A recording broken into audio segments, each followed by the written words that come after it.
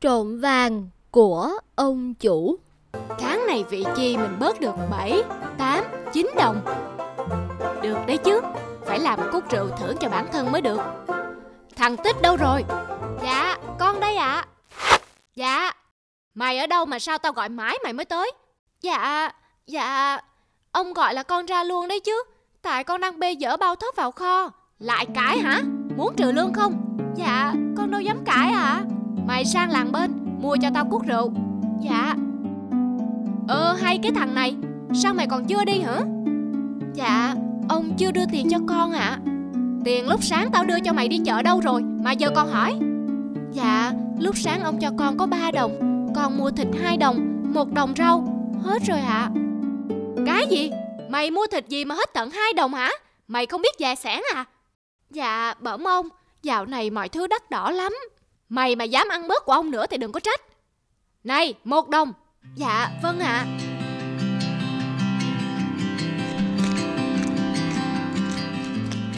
Lão già keo kiệt, Đưa cho có một đồng, Bắt đi cả quãng đường rõ xa, Mua được tí rượu, Mệt hết cả người.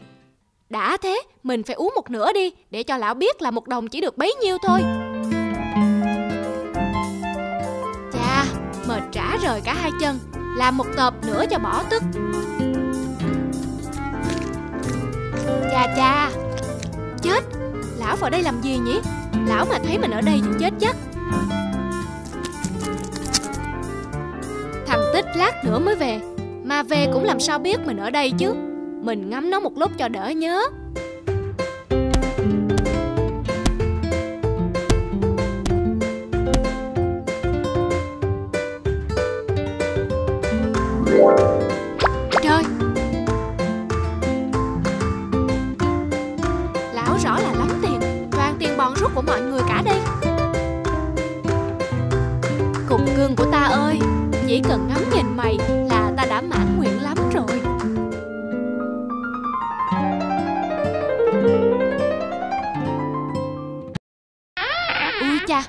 Thì ra cái lão keo kiệt này có nhiều vàng đến thế. Trong khi thiên hạ thì đói khổ. Lão chuyên bớt sáng, Bòn rút của mọi người để làm giàu. Mình phải tìm cách lấy chia cho thiên hạ mới được. Thôi chết, Còn ít rượu quá cũng không được. Lão tu một hơi hết thì mình chết đòn.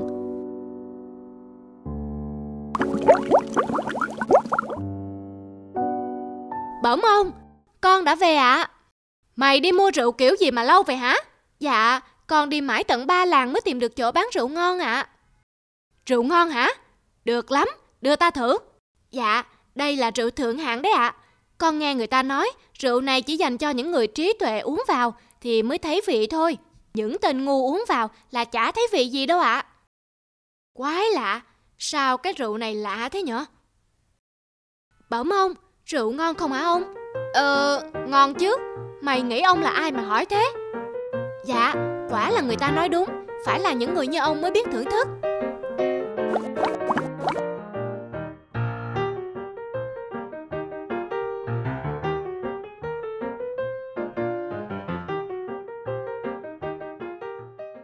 Ôi trời ơi! Tích, Mày vào đây cho ông. Ông ở đâu ạ? À? Tao ở trong vườn chứ ở đâu? Làng nước ơi! Cái hộp vàng của tôi nó chạy đi đường nào rồi? Hòm vàng nào hả ông? Cái hòm vàng mà tao chôn ở đây cả mấy năm rồi, Ngày nào tao chẳng ra ngắm nó. Thế mà đứa nào lại trộm mất của tao rồi? Thế ông đã bao giờ lấy tí vàng nào tiêu chưa ạ Mày ngu thế. Ngắm nhìn thì mới sướng, Chứ tiêu hết thì nói làm gì hả? Thế thì việc gì mà khổ? Giờ ông hàng ngày cũng cứ ra mà ngắm Thì vẫn sướng mà ông. Ông cứ nghĩ ở đó vẫn là vàng là được. Mày láo, Dám giễu tao. Cút ngay đi cho tao nhờ. Cút Dạ xin phép ông con đi.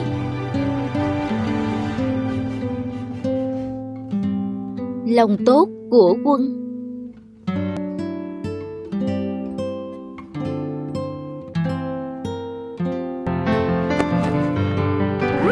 Cậu dậy rồi à? Cậu thấy trong người thế nào rồi? Lúc chiều đang đi cùng nhau trên đường, Tự dưng cậu lão đảo rồi ngã xuống. Tớ lo quá.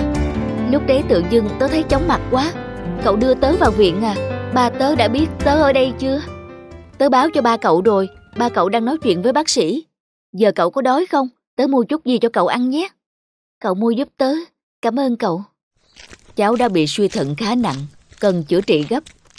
Nếu để lâu có thể sẽ nguy hiểm đến tính mạng. Suy thận nặng? Anh phải chuẩn bị tinh thần. Bệnh này chữa trị phải thật kiên trì, thường xuyên theo dõi diễn biến của bệnh. Vì thận của bệnh nhân đã bị suy khá nặng nên cần lọc máu. Trời ơi! Gia đình cần chuẩn bị sẵn tinh thần. Tiền điều trị sẽ rất tốn kém. Cháu cần được chữa kịp thời, tránh để bệnh chuyển sang các giai đoạn nặng hơn. Bệnh sẽ nghiêm trọng và các biện pháp chữa trị cũng khó khăn hơn. Trời ơi, Nam! Bác ơi, bác sĩ có nói bao giờ Nam sẽ khỏi bệnh không hả? Cháu cũng nghe bác sĩ nói rồi phải không? Thằng Nam, khổ thân nó. Chúng ta nhất định phải chữa trị cho Nam bác ạ. À? Đúng, phải cứu nó chứ. Nhưng cháu cũng biết đấy, bác gà trống nuôi con, biết làm sao bây giờ. Nam ơi, nhất định cậu phải sống.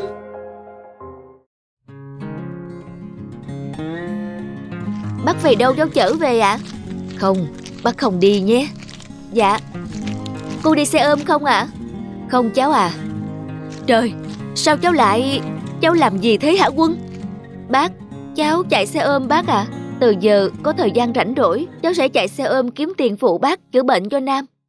Trời ơi, sao thế được? Thời gian của cháu phải dành cho việc học tập. Bác lo được cho Nam. Cháu về đi. Cảm ơn cháu. Bác ơi, cháu tranh thủ thời gian không lên lớp. Cháu nhất định phải giúp Nam. Cháu phải nghe lời bác. Cháu về đi. Cháu chạy xe ôm thế này. Ba mẹ cháu sẽ rất lo lắng. Xe ôm. Có ngay ạ. À? Bác vào phòng với Nam đi ạ. À. Bác đừng lo cho cháu.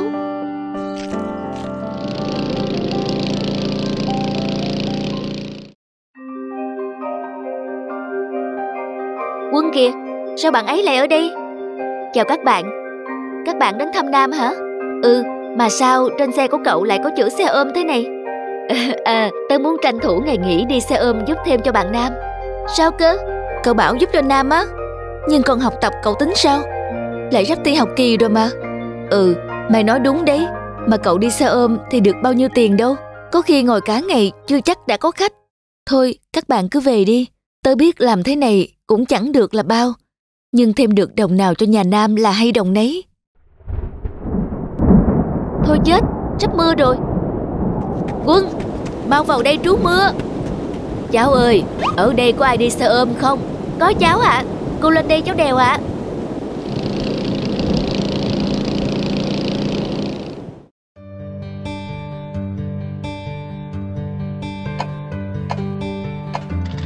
Bạn tôi bị bệnh nặng, vì vậy tôi đang rất cần tiền.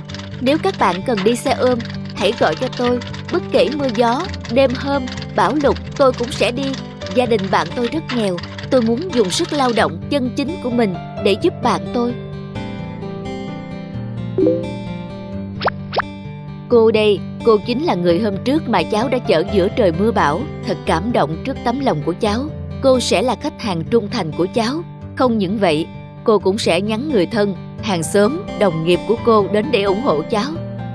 Thật cảm phục tấm lòng của anh. Ngay bây giờ em có việc cần đi gấp, anh có đi không ạ? À?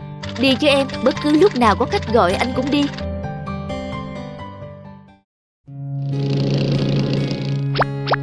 Ôi, các bạn đang làm gì thế này? Thông tin trên face của cậu đã lan tỏa đến mức chóng mặt. Status của cậu đã nhận được rất nhiều like và comment. Chúng tớ sẽ cùng với cậu cùng làm xe ôm để giúp gia đình của Nam. cảm ơn các bạn. Ừ, chúng tớ phải cảm ơn cậu mới phải. Cậu đã giúp chúng tớ nhận ra giá trị đích thực của tình bạn. Cho bác về đường Hoàng Cầu. Dạ vâng ạ, à, mời bác lên xe ạ. À. Một thời gian sau.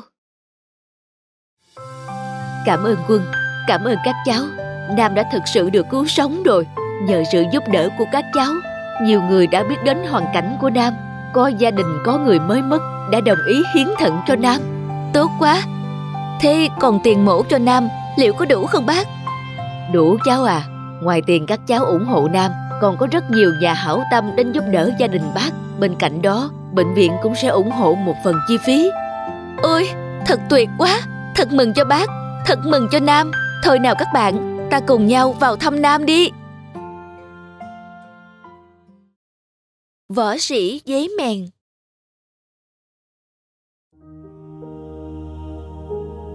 Sao lại chán thế này cơ chứ? Chẳng có trò gì chơi cả. Tiến lên, nào! Chiến đi! Tiến lên, nào! Tiếng ồn ở đâu thế nhỉ? Tiến lên, chiến đi! Nào! Chiến đi! Cố lên! Cố lên! Hạ gục nó đi! Kìa phong thủ! Đúng rồi, Tấn công đi. Tuyệt quá, Thắng rồi. Một trận chiến vô cùng căng thẳng Đã kết thúc bằng một cú knock out tuyệt vời. Mi giỏi lắm, Ta sẽ có thưởng. Cha, Cậu ấy thật sướng, Mang danh võ sĩ thượng hạng, Được thiết đãi và chăm sóc cẩn thận. Mình cũng muốn trở thành võ sĩ giống như cậu ấy. Úi Dây trụi đấy à? Cậu làm gì ở đây vậy? Tớ nói cậu nghe này. Tớ đang có một dự định mới. Tớ sẽ trở thành một võ sĩ. Gì cơ? Võ sĩ ư? Đúng vậy. Chỉ cần chiến đấu vài trận thôi Là danh của tớ sẽ nổi như cồn. Không được đâu giấy mèn ơi. Cậu sẽ gặp nguy hiểm đấy. Chiến đấu vài trận chỉ giống như tập thể dục thôi Mà được ăn ngon sung sướng cả ngày. Không phải lo đi kiếm ăn nữa. Có gì nguy hiểm đâu. Tớ chính là một võ sĩ giấy men. Không được, Cậu hãy nghe lời tớ đi. Tớ quyết rồi, Cậu đừng ngăn cản tớ. Ta phải thành võ sĩ, Thành võ sĩ. Tớ chưa bắt được con dế nào cả. Tớ bắt được một con rồi, Để tớ cùng cậu tìm nhé. Cơ hội đây rồi. Ồ, Ở kia có một con giấy rất to kìa. Bắt được mày rồi nhé. Một cuộc sống mới sắp bắt đầu. Yeah. Hãy chờ đón những miếng vỏ của võ sĩ thượng hạng ta đây. Nạn nhân thứ bao nhiêu rồi nhỉ? Mình cũng không nhớ nữa. Tranh thủ mà tận hưởng đi nhé cậu bé. Mi phải giữ sức chuẩn bị cho cuộc chiến với đệ nhất giấy chọi đấy nhé.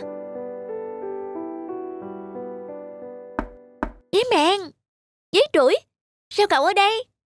Tớ tới để giải thoát cho cậu nè. Sao phải giải thoát? Tớ ở đây đang rất tốt, Ngày ngày được đi chiến đấu, Giành được vinh quang mà. Thậm chí sắp tới tớ còn chiến đấu với đệ nhất giấy chọi, Dự kiến là một trận chiến rất kịch tính. Ai ai cũng mong chờ trận chiến này hết. Cậu có biết đệ nhất giấy chọi là ai không hả? Hắn vô cùng ghê gớm và tàn ác. Ai rơi vào tay của hắn Cũng không còn đường sống. Tớ còn không lo thì cậu lo gì chứ? Chính vì hắn như vậy Nên tớ càng muốn chiến đấu.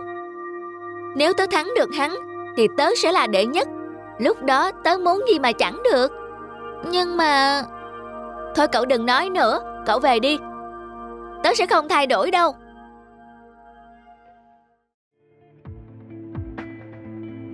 Trận chiến chuẩn bị bắt đầu. Thằng oát mới lớn. Để xem ngươi có tài cán gì nào.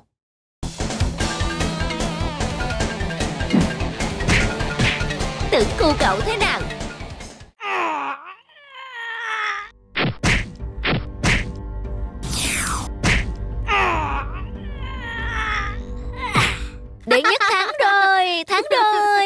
Đúng là cái đồ vô tích sự. Giờ mình đã thành kẻ vô tích sự rồi sao? Giấy trụi nói đúng. Chốn này không phải dành cho mình. Vinh quang ở đây chỉ là sự hào nhoáng. Chạy theo sự hào nhoáng hư danh Rốt cuộc chỉ là làm hại thân thôi. Chú chó tình nghĩa. Chà, thời tiết sau cơn mưa thật tuyệt Ôi, con chó nào thế kia? Một con chó tội nghiệp Mày ở đâu đến đây? Trông mày mệt mỏi quá. Khổ thân mày Mày muốn gì nào? Chắc mày đói lắm rồi phải không? Đợi ta chút nhé.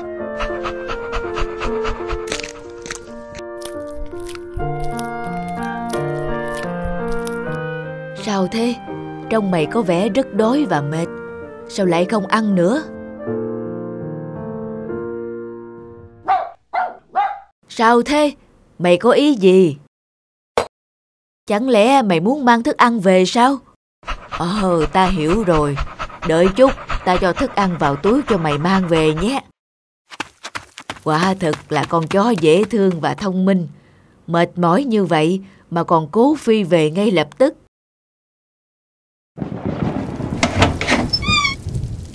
Sao hôm nay mưa to thế không biết? Ôi, trời ơi, con chó hôm trước. Ăn đi, lần này phải ăn nhiều vào nhé. Mưa bão thế này đừng có vội về, cứ ở đây ngủ với ta, mai tạnh mưa hãy về. Sao cơ? Lại muốn mang về à? Thôi được rồi, ta sẽ gói về cho mày. Nhưng đợi tạnh mưa hắn về. Đợi tạnh mưa đã, vẫn chưa tạnh hẳn mưa mà.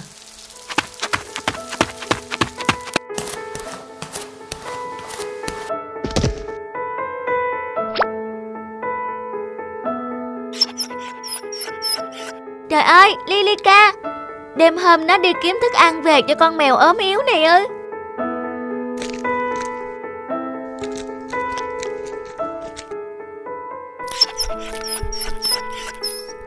Nó còn chia thức ăn cho đàn chó hoang này à. Không thể tin nổi. Mà nó kiếm thức ăn ở đâu mang về thế nhỉ?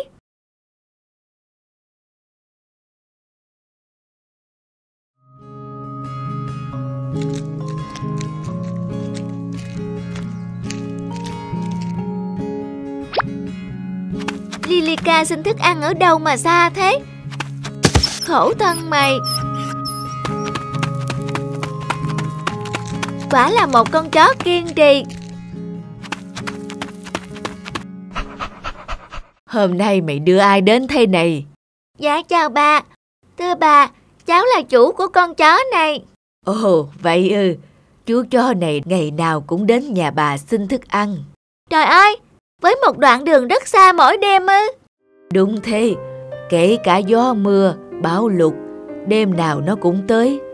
Có điều nó không bao giờ ăn mà luôn muốn đem về. Bà nghĩ ở nhà có ai đó đang cần thức ăn hơn nó. Lilica, ta không ngờ mày có thể dũng cảm và nhân hậu như vậy. Thưa bà, sự thật cháu mới phát hiện ra.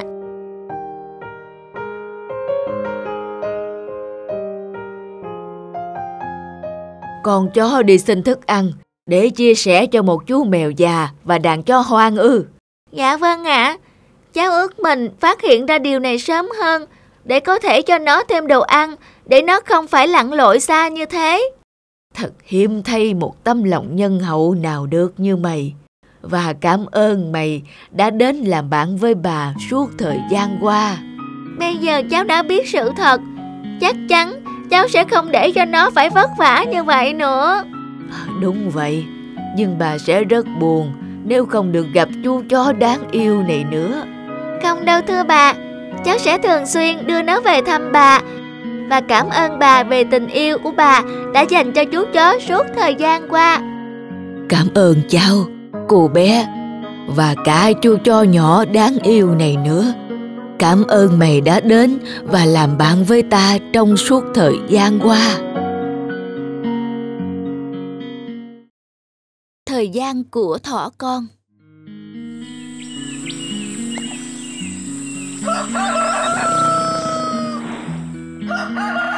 Sao bác gà trống dậy sớm thế?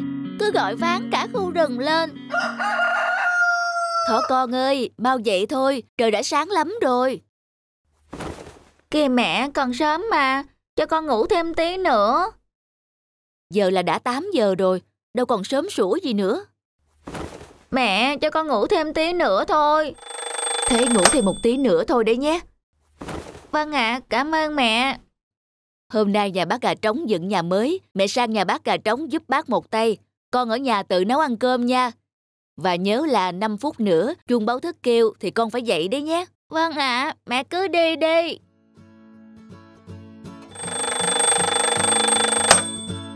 Mẹ đi làm rồi, mày để tao ngủ đánh thức làm gì? Thỏ con ơi, đi câu cá với chúng tớ không? Tớ không đi đâu, các cậu đi đi. Được, vậy chúng tớ đi nhé. Muốn ngủ thêm một tí mà hết người này làm phiền tới người kia làm phiền Thôi ngủ tiếp thôi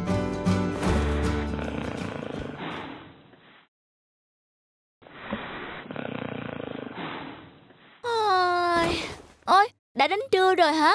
Nhanh thật. Hmm.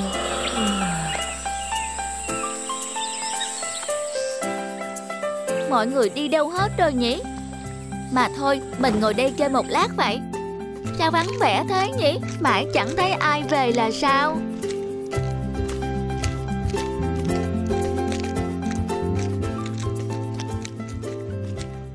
Chào hai bạn, hai bạn đi câu cá về đó hả?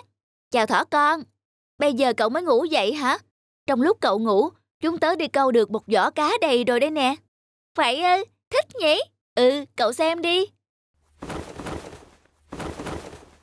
Thôi, chúng tớ phải mang giỏ cá về cho mẹ đã, chào cậu. Tiếc thật, vậy mà tớ không đi câu cá với các cậu, thì có phải giờ này có cá ăn rồi không? Ôi, mẹ đã về, ở nhà buồn quá mẹ ơi. Thế à, vậy ngày hôm nay con đã làm được những việc gì nào? Con, con... Con chỉ ngủ và chơi thôi đúng không? Con có biết từ sáng đến giờ mọi người làm được những gì không? Nào, để mẹ chỉ cho con xem.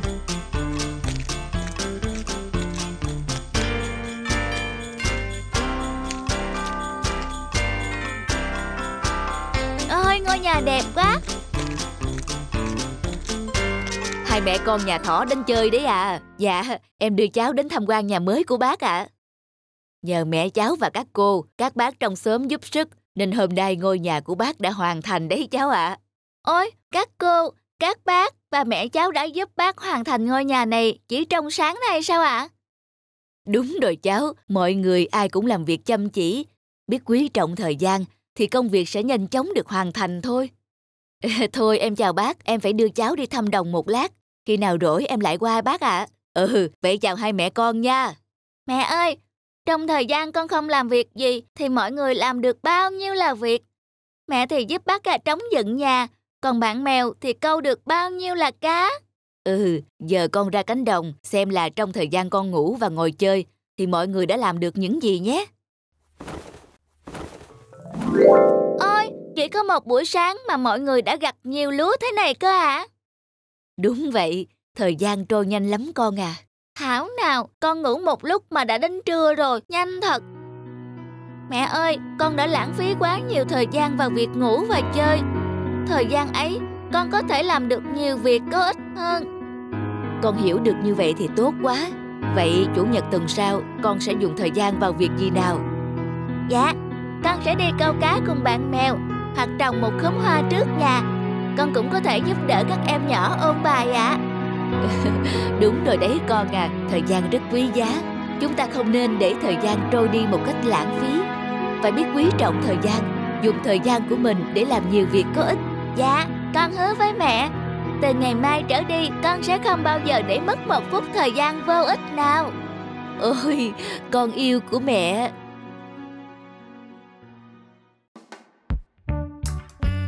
Hãy like, comment, subscribe kênh để xem thêm những video mới nhất nhé!